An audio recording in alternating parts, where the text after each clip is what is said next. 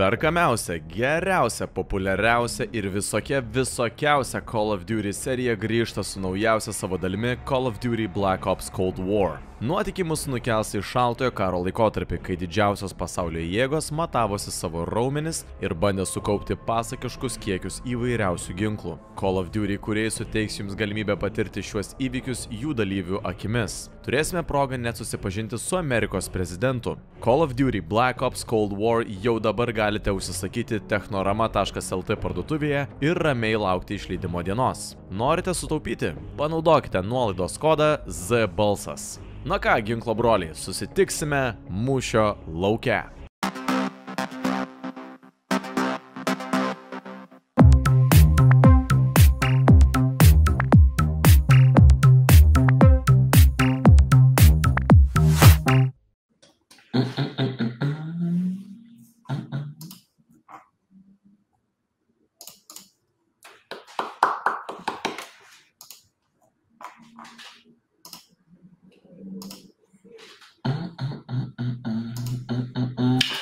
Labas vakaras, draugai. Čia Edgaras ir Rokas. Ir čia yra žaidimų balso laida per PowerKit Radio, tik tai jau šį kartą iš namų. Kadangi yra dabar karantinas, tai mes bandom laikytis visų saugumo priemonių.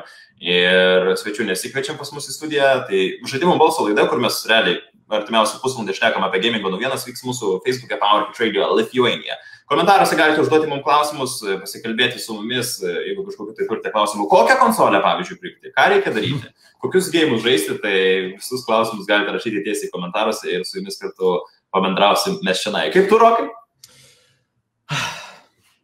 Smagu, vėl antras karantinas, vėl gali nuolatinti, ne? Iš tikrųjų daug mieliau būčiau Powerio studijoje ir tada bendraučiau gyvai, bet, nu, yra kaip yra. Mes vėl grįžtam prie to formato. Jo, mes vėl grįžtam prie tų iš namų formato. Ok, tai uh, daug gamingo naujienų turim aptarti ir šiandien pirmoji yra, kad antradienį buvo išleistos Xbox Series X ir Series S konsolės. Pasirodė ir pirmieji nusiskundimai dėl gedimų, atšauktų užsakymų paskutinę minutę ir rūkstančių dūmų. Dėl rūkstančių dūmų tai ten buvo realiai feikas. Jokių rūkstančių dūmų nebuvo, tiesiog Hebra pasėmė veipus ir privarė tenai tą Xbox mm. konsolę. Um, bet aš šiaip neperseniausiai irgi skaičiau tokį komentarą, kad uh, visai dažnai būna su naujos kartos konsolėm, kai jos tik tai išeina, kad pirmi tie bedžai, pirmi vienetai būna vos nebrokuoti ir po to kai kurie žmonės sako netgi, kad nereikia pirkti iš karto pirmų konsolių, nes neva jos bus truputėlį prastos. Bet aš nežinau, ar, nu, kažkaip atrodo keista, negi tokie didžiuliai grandai kaip Microsoft, Sony išleis kažkokią tai konsolę, kuri yra nepilnai padaryta. Na, nu, aš, žinai, kaip dar vienas dalykas, Edgarai, aš gal pridėčiau tai, kad gal ne kiek iš techninės pusės galbūt tos pačios konsolės gali turėti kažkokių trūkumų, mhm. defektų, bet tai, kad vos tik išleidžia konsolę ir žmonės visi pradeda žaisti pirmuosius naujos generacijos žaidimus. Taip. Ir tai gali sukelti kažkokių problemų, jeigu tie žaidimai dar galbūt nėra taip optimizuoti, kaip jie iš tikrųjų turėtų būti, nes gal paskubotai buvo, o dabar mes kaip tik gal kalbėsime dar apie Assassin's Creed Valhalla, ar ne, gal naujas žaidimas tik išėjęs, jis gal tiesiog dar nėra taip optimizuotas, dėl ko tiesiog tai gali sukelt kažkokį, inicijuoti kažkokį žaidį konsolės broką. Tai va, bet čia toks mano pastebėjimas. Um, ir jo, nu, kol kas bent jau žmonės yra truputėlį nepatenkinti Xbox paleidimu, tai yra tokie kai kurie dalykai, kaip atšaukti užsakymai, bet šiaip dabar su tom naujom konsolėm yra bardakas, visam pasaulyje yra deficitas. Jeigu jūs Lietuvoje norit nusipirkti naują PlayStation 5 ar Xbox konsolė. Žinau, kad PlayStation 5 Lietuvoje pasirodys e, lapkričio 19 dieną, tai lygiai po savaitės. Optimistinė, čia optimistinė yra dabar. Neįmanoma, Hebra, neįmanoma nusipirkti naujos konsolės ir tai yra tokia nesąmonė. Mes tiek kartų jau tai buvom apkalbėję. Ta prasme, kaip gali būti toksai dalykas, kad tokios didžiulės įmonės, Sony, Microsoftas, ir jie nesugeba kaip tik ant šventinio laikotarpio padaryti normaliai tų konsolių vienetų. Nu, ta prasme. Dabar, nu, aš kaip tai matau, e, dabar visi jaučia tą tokį, kad atėjus e, šitai pandemijai, didžiulis, e, na, atėjo tiesiog aukso amžius e, visiems kompiuterinių žaidimų, konsolių, žaidimų kėpėjim ir panašiai. Taip. Ir jie žudbūt stengiasi tiesiog išleisti tam, kad spėti įvažiuoti tą traukinį, ar ne? Yeah. Ir kas gaunasi, mes stengiamės, mes darom, bet finalė situacija vis tiek klostosi taip pat, nes karantinai, visi tie lockdownai, užsidaro gamyklos, užsidaro ofisai, visi dirba iš namų, visiems yra sunkiau tai padaryti. Ir ko pasiekoja realiai, va, tu, žiūrovė taip pat ir aišku, Edgarai ir lygiai taip pat aš, mes atsidurėm toje situacijoje, kada tiesiog mes sakom, kad konsolė išeis lapkričio 19 dieną, O kas gaunasi? Net jeigu jūs turite tos 500 eurų, kur menamai kainuos tą konsolę, jūs vis tiek savo konsolės negausit. Žinau, kad, žinau, kad atsirado kai kurie žmonės, kurie jau sugebėjo pagauti tuos pirmosius releasus ar nusipirkti konsolės. Šiaip, Hebro, komentaruose parašykit, uh, Xbox ar PlayStation 5. Bus šiaip labai įdomu sužinoti. Bet tiesiog, nu, tokią mažą apklausą galim padaryti. Tiesiog komentaruose parašykit, jeigu pirksit ar jeigu turėtumėt pinigų ir planuotumėt pirkti, kokią konsolę rinktumėtės? Xbox ar PlayStation 5? Na, gerai, tai pasakyk kokią. PlayStation 5, be abejonės, nes jau čia tas buvo dalykas milijoną kartų diskutuotas. Kiekybė prieš kokybę yra. Ir tas, man atrodo, yra labai svarbu. Tai dėl ekskluzyvų, ar ne? Tai faktas. Mes dar pažiūrėsim. Xbox'as labai bando eiti ant kiekybės, bet man atrodo, nu, kam man, PlayStation 5 yra PlayStation 5. Čia, va, jeigu kažkas pirksite Xbox arba bent jau planuojate pirkti Xbox, bus įdomu sužinoti, kodėl jums atrodo. Dailis parašė Xbox'as, bet dabar yra žmonių, kurie tiesiog rašo Xbox'as tam, kad mane panervintų. Šimtų procentų. Gerai, sekantį. Aš, aš Xbox'ą. Tu irgi Xbox'ą? Ne, šiek tiek, aš, aš. Ne, aišku, PlayStation, nes kokybė. Uh, Arnas prašė, nėra skirtumo, svarbu, kad žaisti galėtum. Uh, Paulius parašė, uh, pakalbėkit apie Little Hope žaidimą. Uh, apie Little Hope, žinok, man atrodo, galbūt ir netgi turėsim truputėlį dar po to naujienose. Žygis parašė PlayStation 5, Rokis rašo irgi PlayStation 5, Mantas irgi PlayStation 5, šaunuoliai vyrai. Emilija. Net, net mergaitė perka PlayStation 5, Emilija parašė PlayStation 5. Uh, Martinas irgi rašo, pirksiu PlayStation 5, upgrade'as iš ketvirto. Ir kodėl, vat jūs pasakykit visi žmonės, man tai Emilija, Rokai, Martinai, kodėl jūs perkat PlayStation 5? Nes tai yra kokybė. Jūs gal aš sutinku, aš suprantu, kad tu ekskluzyvą tą gauni realiai, nu, ne taip ir dažnai, bet ten yra kokybiškas, geras žaidimas. Tik tai, kad, nu, aš labai nenoriu visos šitos laidos dabar pavirsti tiesiog į karą, kur žinai Xbox'us prieš PlayStation. Orlandas parašė, nusipirkau Xbox Series X, o tas brokuotas buvo. Rimtai, Orlandai parašyk, kas ten tokio buvo, nes mes irgi tik ir man vieną šnekėjom truputėlį apie programą. jo. Bet kalbant apie Xbox uh, tą kiekybę, tai Game Pass prisijungia EA Play žaidimus kaina liko ta pati. Jei play tai irgi tie žmonės, kurie kuria be galo daug įvairiausių gėjimų, Jedi Fallen Order ir visi kiti, tai man atrodo, kad Xbox'as padaro, jie labai dabar stengiasi eiti ant kiekybės. Jie prideda tokius žaidimus kaip Falloutas, Skyrimas, Dūmas, Bethesda, dabar EA kuriejai ir dabar tai yra be galo daug įvairiausių Tikrai džiauriai didžiulis kiekis gėjimų, realiai eis ant Xbox Game Pass. Tai reiškia, čia jūs sumokat kiek? 15 eurų beras mėnesį. Ir gaunat praktiškai visus žaidimus. Nu. Ir tada aš netgi pats vieną momentą pagalvojau, o tai velnės, ką man mokėti už PlayStation ir gauti tik tai kelis tos kokybiškus žaidimus, kai aš galiu turėti praktiškai visus žaidimus už 15 eurų mėnesį. Čia šiaip logiškas sprendimas yra iš jų pusės. Aš manau, kad uh, uh, nusipirkus žaidimą vieną kartą, nu, tai tu savotiškai kaip, tu, tu, tu įmoniai, tai, kuri pagamino, tai, tam game developeriui, sumoki vieną vienkartinį mokestį ir tuom viskas pasibaigia. Greičiausiai dar tu tą patį žaidimą perparduosi dar 3-4 žmonėms. Tas žaidimas nukeliaus dar kažkur.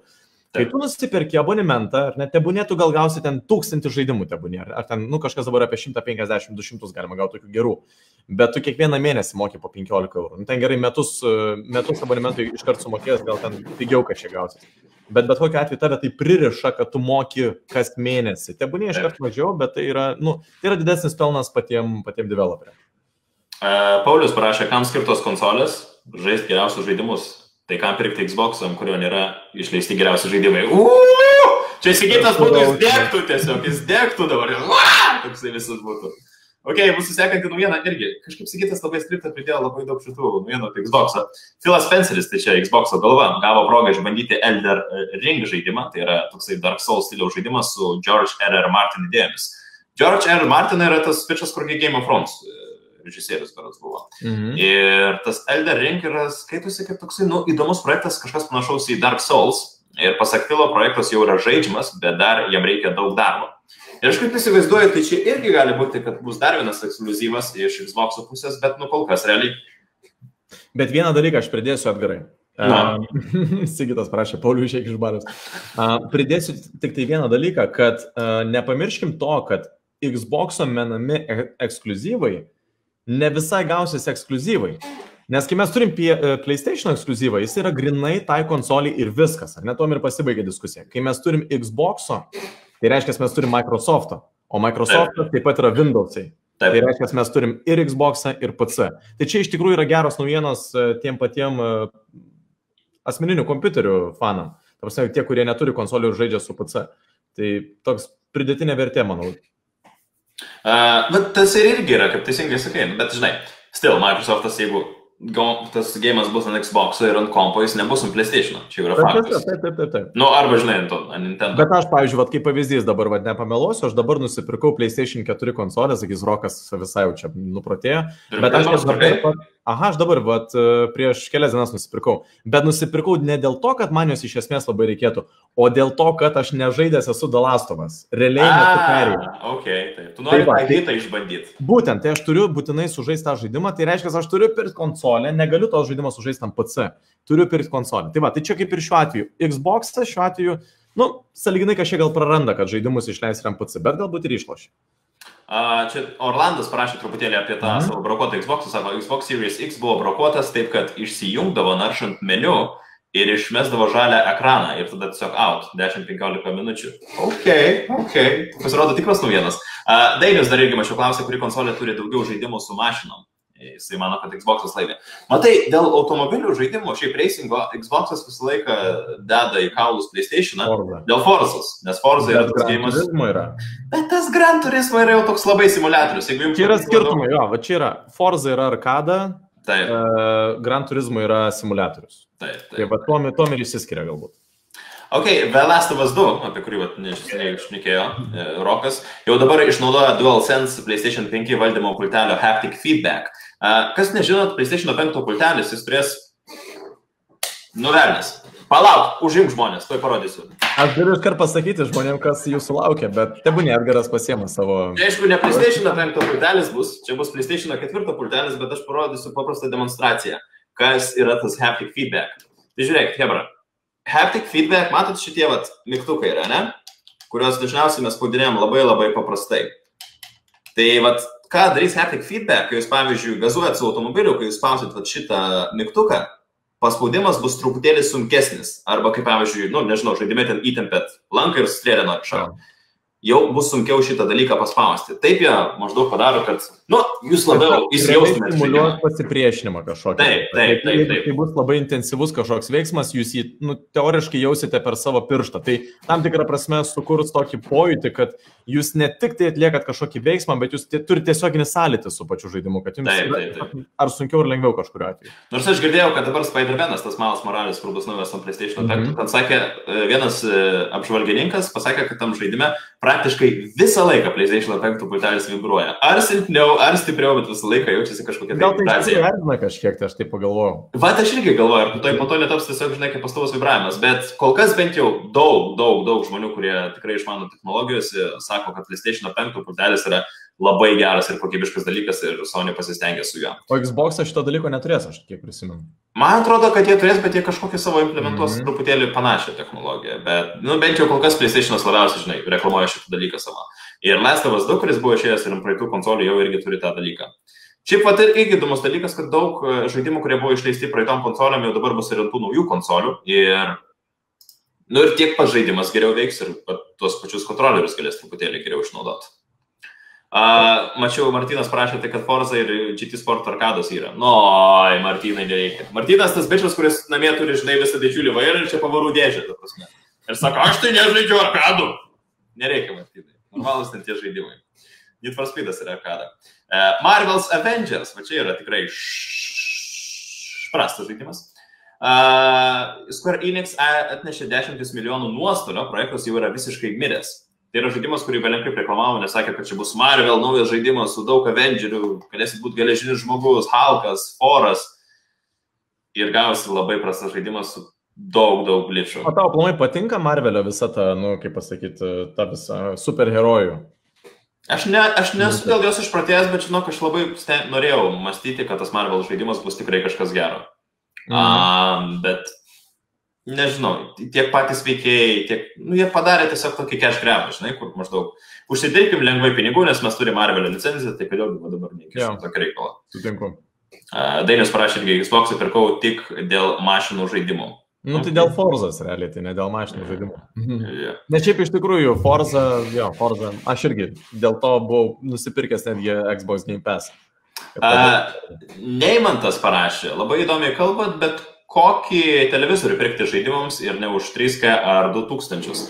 Neimantai, aš manau, kad, žinok, tiesą pasakius, jeigu tu nori išleisti mažai pinigų ir nusipirkti naują televizorių, pavyzdžiui, nu, naujom konsoliam, Xbox ar PlayStation 5, užtenka nusipirkti 4K 60 Hz teleką, nes, nu, žiūrėkit, taip, Sony PlayStation'as palaikys 8K, nežinau kaip Xbox'o, bet tik kai kurie žaidimai sugebės tą daryti ir ne visi išspaus. Ir kitas dalykas, kaip jie pastoviai sako, pas mus bus kai kurie žaidimai, kurie ten išspaus 120 FPS. -ų.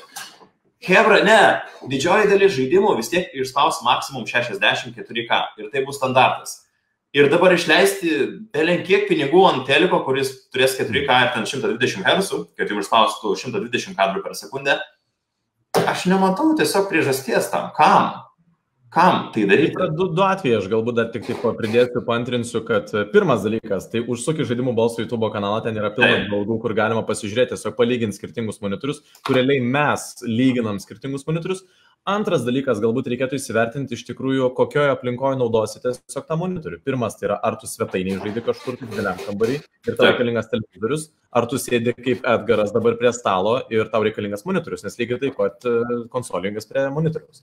Tai va, tuos dalykus išsigryninus tikrai pasižiūrėjus e, video mūsų kanale tikrai galima rasti ir skirtingų variantų, kurie tikrai tilps į tavo biudžetą, nes 2-3 tūkstančiai eurų tai yra, tai yra labai, labai, labai, tai, labai geras, tiesa. Nu, nebent tu nori ten pirkti OLEDinį, kur ten, žinai, juoda yra tikrai juoda, labai spalvos yra. Na, nu, aš nežinau. Jo, ir kitas dalykas, kiek dabar kainuoja 4K telika 60 Hz? Nu, nedaug, tu man atrodo gali už 300 eurų. Jeigu ne už 400, tai bent jau, kaip sakant, gali žmonės išsimokėtinai pirkti ten, nu, ta prasme, tai taip, ne, taip. ne, ne naujas automobilis, ne, ne kažkoks, ne, ne, ne 5000 eurų tikrai. Taip.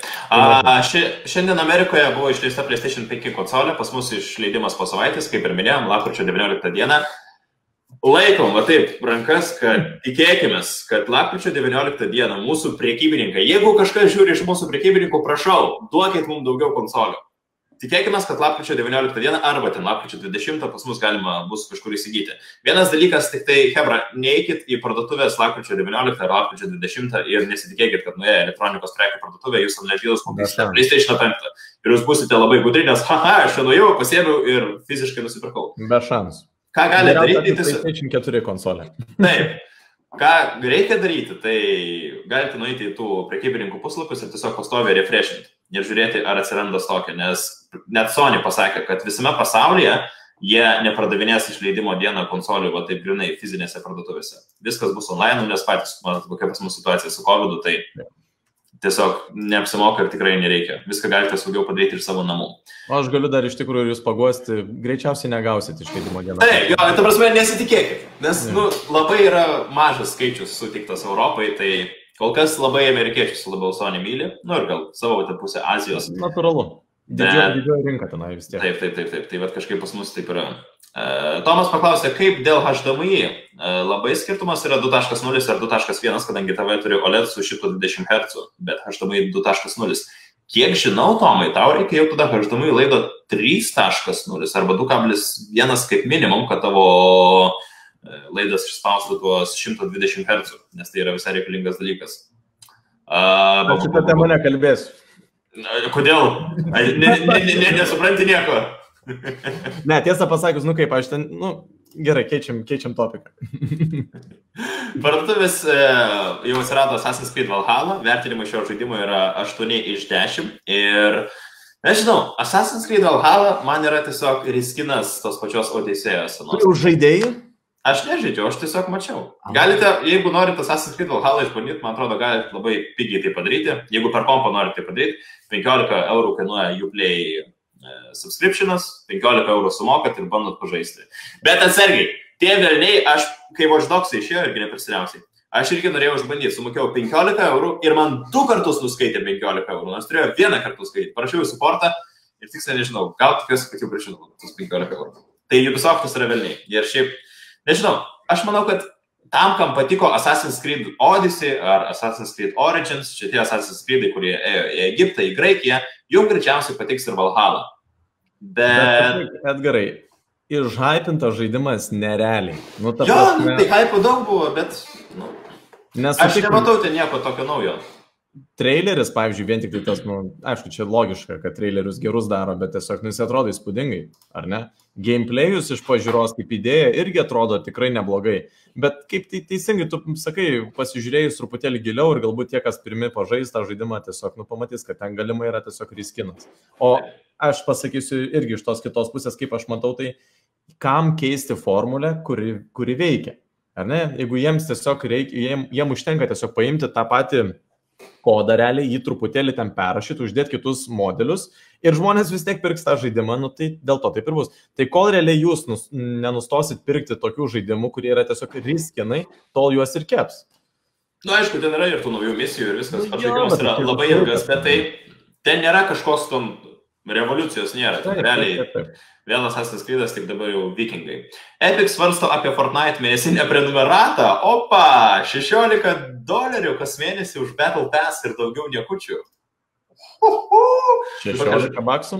Čia kad Fortnite maždaug žaisti reikia sumokėti 16 dolerių. Čia kaip Vovas bus, ne? Jo, jo, jo, kaip Warcraft, jeigu nori žaisti, irgi turi susimokėti. Velnes, bet kokį, nu, nors Fortnite'as dar iki šiol yra labai. Ar kitko, mes apie Warcraft'ą šnekėsim? Uh, nes kaip tik dabar ne. žinau, kad uh, nešnekėsim, nes kaip tik žinau, kad Shadowlands uh, expansionas išeina kažkada jau greitai.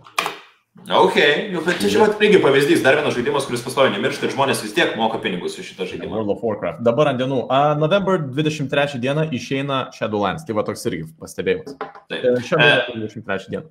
Paulius parašė, tai su tuo Assassin's Creed tas pats, kas yra NBA, kol žmonės tarpsta, nebus bidliuk. Taip, būtent, Pauliau, taip, su NBA tas pats, ta prasme, štampuoja ir štampuoja ir melžia pinigus, va taip tiesiog iš mūsų. E, Kestas dar klausė, Cyberpunk hypas irgi labai yra didžiulis, ką jūs manot dėl šio žaidimo. Metų žaidimas, manau. Manau. Cyberpunkas, kas negirdėjo, tai jisai vėl buvo atidėtas, dabar išeina ne lapkričio 19, o gruodžio, gruodžio 10, 10. Jo, gruodžio 10 dieną. Aš jau nu, tai maždaug už mėnesį. Bet tai turėtų būti geras žaidimas. Aš manau, kad nu, tai yra tie patys žmonės, kurie sukūrė Witcherį, kas dar negirdėjo, tai čia realiai, aš nežinau, kaip vienu sakiniu apibūdinti Cyberpunką tiem žmonėm, kurie nežino. Tai yra žaidimas GTA tiesiog, bet ateityje, 2077 metais. Aš jį gal truputėlį prie Skyrimo pridėčiau kažkaip, tai man jis toks labiau. Arba jo, ir ten, ką jie labiausiai reklamuoja, tai kad kiekvienas jūsų pasirinkimas bus, kaip žaisti žaidimą. Iki tokio lygio, kur jūs galite nei vieno žmogaus nenušauti ir visą gėjimą pereiti. Aš manau, kad čia yra tam tikri triukai, sakomi mum, kad mes tipo ant ausį kabintume, kad ten galime. Okay. Nu kaip, aš, aš, ne, aš tikiu, kad dalinai kažkiek tai bus, ar ne, kad galima diskutuoti, kad va, gal tai bus, gal nebus. Esmė yra tokia, tas žaidimas galbūt duos tai, ko nei vienas kitas žaidimas nedavė. Tai pirmiausiai, na, ta pasirinkimų galimybę, ar ne, kad jūs galimai eisite ne vienu storyline kažkokiu tai numatytu, o jūs turėsite aibę galimų žaidimo baigčių. Taip, taip. Tai galbūt tas yra unikumas to žaidimo, o ne tai, kad uh, jisai turės tą galimybę, kad, uh, kad jūs ten galėsit perėti visą žaidimą, nenužudę nei vieno NPC. Tas yra beje tiesa. Cyberpunkas patys tą deklaruoja, kad jūs galėsite tai padaryti. Tai va, bet, bet nu, irgi čia, čia yra tam tikrų rizikų. Kur, na, aš truputėlį pridėsiu dar tai, kad uh, CD Projekt Red jau minėjo, kad jau turime auksinį diską. Tai reiškia, kad, nu, potencialiai tas žaidimas jau yra viskas, jau jis yra žaidžiamas, jau jį galima perėti ir panašiai. Jie vėl nukėlė tą žaidimą. Aišku, mes žinom, jie, jie argumentavo tą nukelimą tuom, kad jiems reikia papildomo laiko, kad galėtų optimizuoti žaidimą jau esamoms naujos kartos konsolėms. Ir tada tiesiog kyla klausimas, tai kodėl deklaruoti vis tiek, kad žaidimas yra auksinio disko stadijoje? Nu, man toks tai kažkoks. Gal jie truputėlį, matai, nusuklydo su to auksiniu disku, nes, nu, jie pasakė, kad kaip ir tu ir minėjai, kad jiems reikia išbandyti žaidimą ant visų versijų. Tai Taip. Aš, aš džiaugiuosi, nes jie nori išleisti galbūt, žinai, nušlifuotą žaidimą, ne tiesiog kažkokį nepilną dalyką. Sutinku, bet man kvepia dar, žinok, gruodžio 10 diena nekvepia kaip ta kur tikrai jau laukit, jau bus. Sakai, gali dar nukelt? Ne, ne, ne. Jeigu man... Ne, nu negali nukelt. Negali jau nukelt. Negali, rokai, negali jau. Ne, aš, aš sutinku su to, kad norėčiau, kad nenukeltų, nes, nu, noriu ir aš jau pabandyti, bet viso gali būti. Nes nu, aš manau, kad... Cyberpunk Simsas, va čia labai. ok, dar grįžtant truputėlį prie naujienų, PlayStation 5 nepalaiko 1.4.3 raiškos nebent tai bus pridėta ateityje.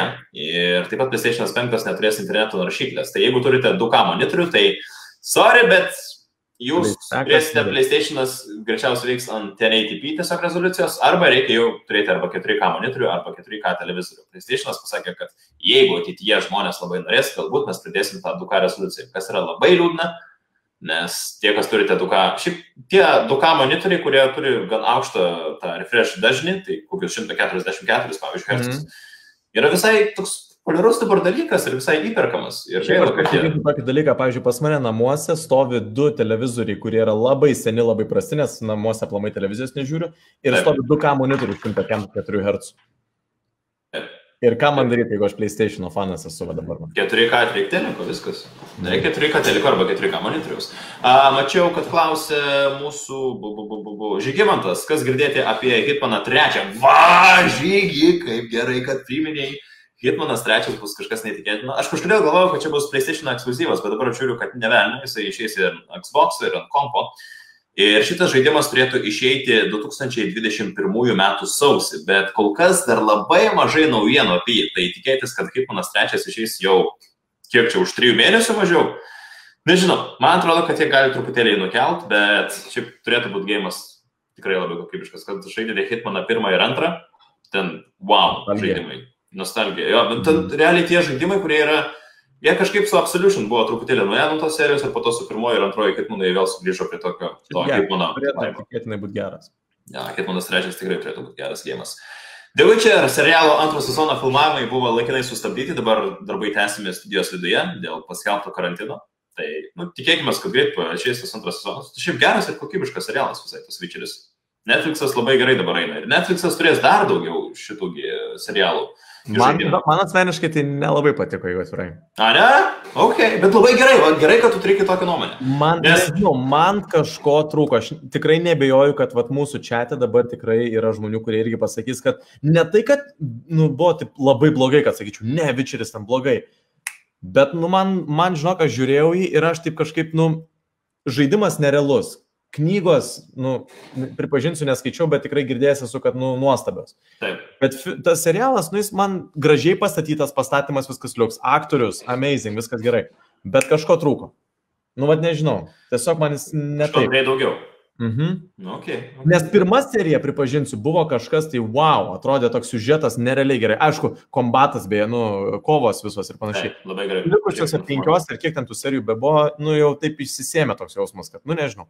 Ir netgi antras sezonas, man atrodo, šiek tiek jau dabar eis nuo toliau, nuo to pačio Vičerio iki Siri, gal man atrodo, kažkas labiau bus pasakoma. Tiksliai nežinau, tai vad. A, klausį mačiau mūsų buvo Saulis, sakė, nematė pradžios, ar jau kalbėjome apie Valhalla. Jo, Sauliau, jeigu tau patiko Assassin's Creed Odyssey ir Origins, Valhalla tau tikrai patiks. Jeigu tau nepatiko Odyssey ir Origins Valhallos, geriau nepirk, nes tu nieko ten naujo nepamatysi. Ten yra tas pats, tik tai šį kartą pasėmė vikingų tematiką. Bet šiaip realiai iš gameplayaus jau vos nematosi. Taip, yra truputėlį pakeistų dalykų, bet mm, kažkokių tai didelių pakeitimų labai nėra. Kalbant dar apie Cyberpunką, CD Projekt Red gerokai nukentėjo dėl pastarojo Cyberpunk nukelimo, krito akcijų vertė, supyko investuotojai, valdžia atsiprašinėjo darbuotojų dėl pareiškimo, kad viršvalandžiai nėra jau taip ir blogai.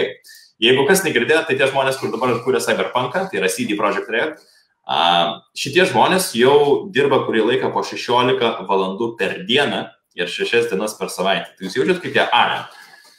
Visi, kas yra dirbę bent 12 valandų per dieną, tikrai žino, kad tai yra, nu, yra reikalų pradirbti 12 valandų per dieną. Ir pripažinkit, kai dirbat 12 valandų per dieną, dažniausiai būna, kad patinginiaujat, kažkur pavaikščiojat, dar kažką padarot, ten Hebra turi dirbti.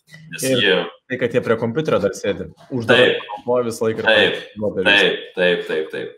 Tai, mat, vien tokie, žinai, yra dalykai, man atrodo, kad jau faktas, kad Cyberpunkas bus, nu, aš noriu tikėti, kad tai tikrai bus metų žaidimas. Būtų labai, labai gražu. Sony norėjo pakelti žaidimų kainas daugiau negu 70 ar 80 eurų, bet susilaikė. Pasirodo. Okay. Kas negirdėjo, tai naujų konsolių, tai žaidimai jau truputėlį kainuos. Jeigu anksčiau standartinė naujo žaidimo kaina buvo 60 eurų, dabar gali būti 70 arba netgi 80 eurų. Kas yra jau Nu, man atrodo, kad čia yra toks, bet vėlgi grįšiu prie to, nu, jeigu jie ir pakels, vis tiek žmonės pirks ir vis tiek jiem, nu, nu ar, ar jūs ne, nepirksit savo mėgstamiausio žaidimo, kuris jums iš esmės patinka? Nu, pavyzdžiui, nepirktum? Ne, aš aišku, kad pirkčiau. Jo, nu, taigi Lietuvoje labai dėl to reikia pirkti PlayStation, kuris bus su diskasviu, kur galėsit kiš diskus. Nes Hebra, nu mes visi lietuviai, taigi perpardavinėsi tiesiog. Tai va. Jūs nusipirki naują žaidimą, tarkim, jeigu single playeris perinė, nežinau, nu per mėnesį, tarkim. Parduodi už ten 20-15 eurų mažiau ir tau netoks didžiulis minusas tau gaunasi. Aišku, yra Xbox Game Passas ant Xbox, kur tu sumoki Tai va, čia gal- 15 eurų į mėnesį ir tu realiai gauni visus gėjimų. Kas jau yra, nu, tipo, toksai momentėlis. Ok, dar kelias naujienos. Halo 4 kitą savaitę bus pridėtas prie PC MasterChef Collection. Nice. Uh, BioWare oficialiai anonsavo Mass Effect Legendary Edition. Išleidimas bus jau kitų metų kovą. E, Google siunčia, sta- aš neskaitysiu naujienų apie stadiją, atsiprašau, nes čia yra tiesiog šiukšlės. Ir Microsoft užsimena apie DLSS tipo technologiją skirtą Series X ir S konsolėmis. DLSS yra speciali technologija tam tikrose žaidimuose, kurį, nu kaip čia paaiškinus, ji labai stipriai pagerina vaizdą, bet ji tuo tarpu ir labai jūsų kompui gali būti, nu, daug atimti iš jūsų kompo jėgos ir galios ir tų pačių FPS. Tai va, dėl to yra truputėlį. Ir kaip suprantu, Microsoftas bando truputėlį dirbti prie šios technologijos ir galbūt netgi integruoti ją vat, į Xbox naujas konsoles. Dar vienas dalykas su naujom konsolėm, tai kad e, tiek PlayStation 5, tiek Xbox'as, jie turės jau retracingą savyje, tą, kaip vadinamą hardware. Kas irgi retracing. Tikėtinai galbūt bent, bent veiks panašiai, kaip jis turėtų veikti. Taip, taip, taip. Retracingą mes ir dabar turim, tik tiek, kad nu, jo niekas nenaudoja, nes tiesiog jisai visiškai nefunkcionalus yra. Nu, ta prasme, Tam nepaveikia. tikrose žaidimuose tu gali, nu, jeigu turi labai labai labai Tai labai. va, būtent, reikia turėti labai gerą sistemą su savimi. E, Kestutis klausė, ar nuo konsolių žaidimų kainų šuolio kils ir PC gėjimų kainos. Su kompiuteriniais žaidimais aš manau, kad, mat klausimas, nes kai, manau- žinai, Bet Edgarai, vėl, jeigu pa pakels kažkas ir pamatys, kad visi perka, tai kodėl aš turiu nepakelt savo kainos? nes kompiuterių, tie žmonės, kurie išleidžia ant kompiuterių daug žaidimų, tai jie dažniausiai turi visus subscriptionus, kur tu jau moki 15, nežinau, 14, 12 eurų į mėnesį. Ir yra dabar tiek tų subscriptionų, Uplay, Ubisoft subscriptionas, um, Xbox Game Passas ant kompo irgi yra. Daug yra tų tokių subscriptionų, kur... Jo, EA Play, kuris irgi, tarp kitko, prie Game Passų prisidėjo. Tai va, aš manau, kad jie visi truputėlį, nu, galima sakyti, kad um, iš to dalyko laimės, nes vis tiek gausis gal netgi šiek tiek pigiau. Bet čia vėlgi priklauso, ar jūs norite turėti tą kiekybę ar kokybę iš PlayStation 5. Tai šiandienos tema yra kiekybė ar kokybė, ar ne? Aš manau, kad, nu, realiai taip ir yra, nes nu, jūs su PlayStation 5 dabar, kai jis išeis, jūs gerai, kokį žaidimą aš galiu pažaisti, kai tik išeis PlayStation 5, kad pajaučiaus naujos kartos konsolę. Vienas žaidimas bus ir tai yra naujas Spider-Man'as, kur aš tikrai mačiau pagal apžvalgas, bent jau žmonės sako, kad tas režimas, kuris padarytas jau Fidelity berots, a, jis išnaudoja ray tracing ir ten, nu, realiai tų 30 FPS tiesa, ne šiam, 30 FPS tas modas veiks, bet ten jau pamatai, kas yra ta naujos kartos konsolė, dar 4K rezoliucijai be abejonės. Su Xbox'u, kokį žaidimą aš dabar nusipirkęs ar gavęs ant Xbox'o, galėsiu va taip įsijungti ir sakyti, o, bet čia yra naujos kartos konsolė. Nėra. Kol kas. Kol, Kol kas, bet, nu, gerai. Mes jau turime iš PlayStation Spider-Man'ą. Kitais metais išeis Ragnarok, tai yra God of War, dar viena dalis. Kas irgi be abejonės, kadangi bus ekskluzyvas, bus wow. Tai klausimas, kada, vat, e, kada Xbox'as irgi pradės. Nu, jie, aišku, kalba apie savo Halo, kuris irgi turėtų išėti ir ten būtų kažkas tokio wow. Bet kada jie galų galėtų žaidimą išleisti, tai vat, irgi dar labai yra klausimas. Tai, vat. Uh, tai, Hebra, ačiū, kad buvot kartu, ačiū, kad pabendravom. Jeigu dar turėsite kažkokiu tai klausimu, galite rašyti komentaruose, pabandysim gal dar atsakyti. Ir žaidimų balso tokias laidas bandysime daryti kiekvieną ketvirtadienį nuo 19 val. Čia Nai Power Radio Lithuania Facebook'e, pabendrausim su jumis ir apžvelgsim visas gamingo naujienas. Realiai, kitą savaitę, lapkričio 19 dieną, kai bus šita laida. Lygiai tą pačią Taip. Taip. Tai bus ta diena, kai Lietuvoje išeina PlayStation 5 konsolė. Tai greičiausiai tiesiog visi kartu galėsim tiesiog draugiškai sėdėti. tai bus vakaras, jau busim išgirdę, ką visi jau praėjo, Taip, taip. Galėsim tiesiog sėdėti ir refreshint pastoviai puslapius ir žiūrėti. Tiesiog linkus mėtysim į komentarus, kur galima nusipirkti PlayStation 5. Tai kol kas, Hebra, ačiū, kad buvot kartu ir gražaus jums vakaro. Iki.